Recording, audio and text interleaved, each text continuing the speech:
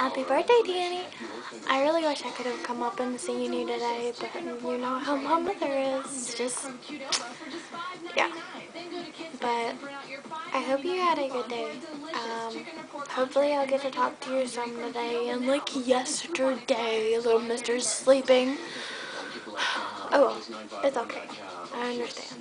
But, um, I do hope I get to see you today. Not see you. I get to talk to you. I wish I could see you, but that's not gonna happen. Anyways, anyways, I hope Dean and Heather don't absolutely ruin your day by throwing a party. I don't even know what they're doing, but since they said that you probably won't like it, chances are you're not going to. Um, just, I don't know. I hope you have a good day. Um, don't be too hard on anybody today. Just because it's your special day doesn't mean you get special treatment. But I guess I'd better go because this is going to take forever to upload and send to you. So just a happy birthday and I'll talk to you later, okay?